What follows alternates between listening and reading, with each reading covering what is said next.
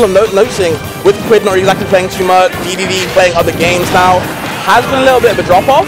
Uh, but we're still seeing GT here and there. Yeah, I mean, the character is still pretty good, as people like to say. You know, you still get to play three characters in one, Yep. so that's just kind of your advantage here. But so far, it is going to be Quick and Crooos here. Crooos on it, this Charizard right now. Would have loved to see a grab there. I think part of the thing, uh, like conditioning that we always talk about in Smash is that if we can get some like shield grabs ready to go, Oh, yeah. there you could see a perfect up throw there. But alas, gonna be the self-destruct on the side. We'll just say the, the throw kill. We'll, we'll just say that. But yeah, sneaks in the back end and gets one of his own. And there's the grab we're seeing from now from the Charizard. And obviously you're scared of obviously a character with such good burst options, you're going to be shielding a lot. So to have that grab in your arsenal as well can really be like a, a big surprise. But oh, speaking of big surprises, nowhere to go from that F smash, kind of reaching on the ledge. Yeah, that's the thing, right? Sometimes you get just stuck between a rock and a hard place where Yeah. if you stand or get up, you're going to lose. If you jump, Mega Man is just going to try and find those back airs. It's just kind of the, the part. But it's going to be Squirtle here coming out here. Good switch on over to Ivysaur. And I like how Crooos is giving Quick the respect and then trying to actually go up there and meet him where he is. But Crash Bomb is going to connect here. The dash attack to actually space out.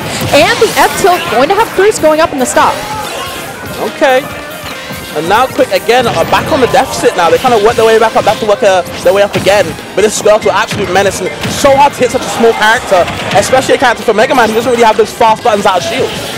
Okay, still a couple more of these leaf shields. And this is the annoying thing about Mega Man, too, is that Mega Man really technically doesn't have to approach you to stack on all of this damage. Sure. And it's really just more of a kind of waiting and spacing game here. But soft hit fair coming down, but like the up special to at least still kind of keep the distance close, if you will. Yeah, of course, if you want to get near me, Squirtle does have that you know, pretty good out shield option. That does, like I said, Mega Man kind of lacks. Swinging to the Ivysaur, though, probably wants to kind of the range game on their side, but the forward air pushing them out more and more.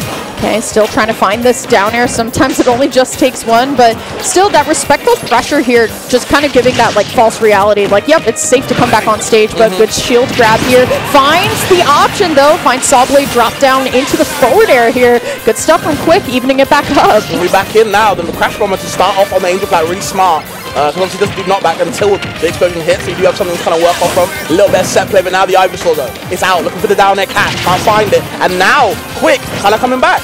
Yeah, you got it right, but the problem is you got to play a little bit more spaced out here, and that's what Mega Man can do, because you know Ivysaur is just looking to catch a jump with that up there, and that is going to be Crooos taking game one. Calling it like you see it. And Lyric, gonna have to move on to a next set, see which one we can go on to. Uh, let's I'm gonna take the spaceys. If I dare, I say I think I'd rather take the I think I think. Twitch chat's probably vibing with that as well.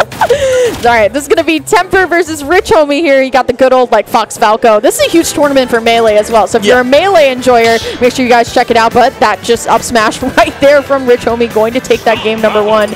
Uh, and that's the beauty about uh, quad stream, right? We get to just watch all of this. Sure.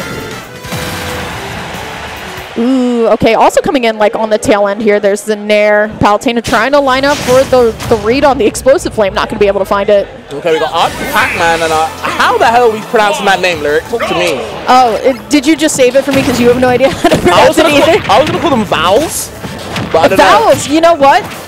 You got it. I'm, no, I'm, I, down for vowels. I, you know, I was trying to like read it in my my head as AU, but like, no, you're right. It's definitely vowels, but that is going to be Arch taking game one there. you know what? Every Close game, let's go back to the space. Yeah, definitely uh, back to here, but we would definitely want to see kind of the, the start here. Fox Falco, uh, Fox also got to mention that Light is here. I think he mentioned it in the beginning here. Yeah. He's going to be kind of Captain New England here alongside with Mars. And you, you personally love to see a Light in New England power up because this crowd gets loud. One of my favorite grand finals ever was Shine with uh, Light Zamba, and I think that's actually projected to happen again. Okay. Yeah, New England, one of the, the, the louder American crowds, which I do appreciate as a European, Yeah. so to get the edge guard in the up B. And, and what's funny about both these character spaces in general, they edge guard each other like no other. They really have a really good way to kind of interrupt the Firefox, the Firebird either way. Uh, they do a really good job of punishing each other. We're going to see if Rich Homie or uh, TT Mac can kind of get it going. Ooh, okay. Just the sometimes the scariest things about Fox is just that that pure movement. I think when uh, Ultimate came out, a lot of people were just trying to find their way with the movement. And Fox is one of those characters where you can't really just like empty jump in your opponent's face, kind of get them to kind of crack first. But the side special, no tech onto the platform. But look at all these airs and dash attacks coming out from Rich Homie. Still, though, will be able to find the smash punish here, but still just keeping up that pressure, which is what you have to do as this character. I love Fox's moves, bro. It's like dash attack is literally just nair on, on the ground. You know what I mean? And Yeah. vice versa. It's doing the same thing. But it works, you know, keep it simplistic. Look at that, I'm talking about. The back hit of the down smash, so punishing uh, on these recoveries. Yeah, and the thing is with Falco too is that you don't really have like too many places to go, right? A lot of the times, like you just want to get back on stage as fast as possible. Yeah. So that side special is kind of correct, but then again, like when Fox has that two frame, gotta talk about it. But still, speaking of talking about it, these nairs have been nasty coming out from Rich. Yeah, he don't know the homie right now. He's kicking you all over the face. No friends allowed. Even for Fox on Falco. Um, and Temper getting kind of smacked around all over the joint. Gets the tech option, the tech read as well. Another down there. Nah, that was crazy. The like short up at the moment, yeah. But we were talking about movement, right? Trying to meet up on the platform there. Good shield down by Temper here, but it is just going to be the up smash out of shield that does take it for Rich. That was nice. Yeah, uh, Rich Homie was definitely coming out the gate swinging. All the nairs in the world kind of put Falco in his tracks. Uh, let's move on over. And I believe we've got a Luigi and Rob kind of practice. Let's go over to stay. Uh, Yeah, back over here for Crooos and Quick. Uh, I like the battlefield pick actually for both characters Yeah. here. Like, uh, the thing is, uh, you can really chase with Ivysaur, right? And it makes it hard for Mega Man to land. But then again, Mega Man has tons of escape options thanks to those platforms. See how it's going to go here for Quick, trying to get this Zard out of here. But this Zard is very healthy. absolutely. You don't want to fight a Zardes like barely taking any percent. You know, they don't go nowhere. But the F tilt gonna send you somewhere not nice, but still surviving. Quick, fighting for his life right now. Real close, trying to read the uh, get him from ledge, but the up special, the fly, not going to lead into anything. There's so much end lag. That is such a committal move Yeah. that most of the time, like you really are just thrown out to try and read something. But if you miss, sometimes it can be bad. Double grab though, not going to lead any, into anything here. So it is going to be quick.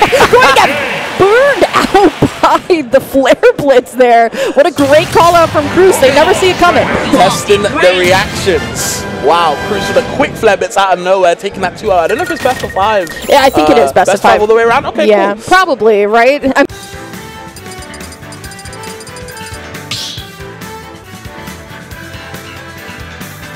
Start battle! Pokemon Trainer Mega Man!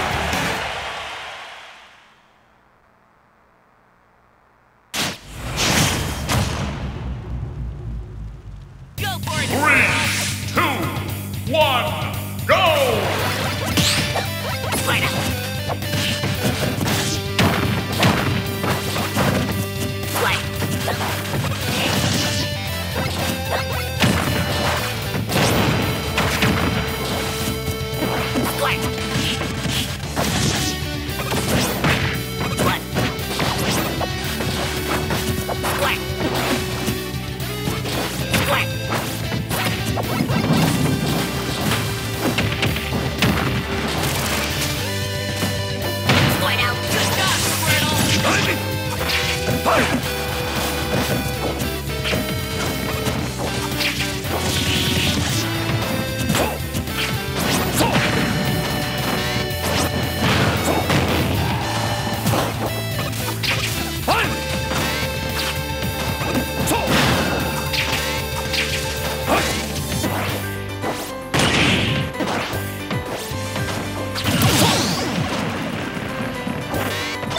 But unfortunately uh, for Temper, going to have to go down into that loser's bracket. We're going to head back on over to Quick and Crooos here on Town and City. All right, so we got the bigger stages here on the on the uh, stage list. Yep.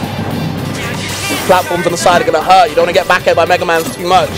Quick might uh, be in the lead if a little bit. You can just kind of uh, catch a few of them, but still, Crooos doing a really good job of making sure he's not getting caught by anything. Yeah, that's the advantage when there's no platform here for Mega Man because it's just kind of a rinse and repeat, right? Now mm-hmm. that the platform's flying in, that gave Crooos kind of an, an opportunity to take the express train back to center stage here. But there's the forward air trying to line up something here, and still, I the perks of this stage is that Mega Man can really take its time. Okay. Wow, another flare, but you got to watch out for that one. Yeah, and that's the thing on Town and City, bigger stage. That means we have more kind of a, like evacuate options here. But those are, those those back airs you're talking about, Faz, getting real scary. I'm telling you, the scissors works out every time. Doesn't matter if you got paper or rock, still gonna win that trade out every time on the sides. Goes high this time. Tries to land. I like that uh, edge of the recovery. Unfortunately, though, Zard is very quick initial dash-wise. Ooh, okay, the fly going to connect there. This second stock for Quick does not want to come off here as Crooos chasing the Mega Man essentially around the stage, but Zard significantly slower than some of the other Pokemon, but still that F-tilt is going to be able to come in, seal this up. I mean, Quick needs a stock, and honestly, self-destructing is certainly one way to get it. Says, you know what is handy? I got a little gift for you. Surprise! The mystery gift, you can only get that through Wi-Fi. Okay, the leaf shield out yet again. Has to avoid it as the grab the Squirtle benefits off so much, but not even getting too much until now. Gets a couple of stray hits into the combos. Trying to get something going here. And this is kind of the meticulous part about playing Mega Man, Yep. especially when they put up the offensive wall. Putting up one wall is something and then playing offensively uh, or defensively, but when it's approaching you in the face and playing defensively, it's so hard to kind of like come out and pick exactly how you want to handle it. But honestly, Crooos in a great position here, switching on over to the Ivysaur, probably going to try and find that down air. We're unable to find anything, so we're going to just back up. There's the grab. Honestly, I actually think the Vine Whip would have Yeah. probably done it, but landing up air still putting him in disadvantage, trying to read the getup, but still another wrong option select. But I mean, alas, Ivysaur up there is huge. Yeah, the Razor Leaf into the upper. That's going to be a 3-0 for Crooos. And there's a little bit of scaring, so, uh, so to speak, but just couldn't find that ending. Uh,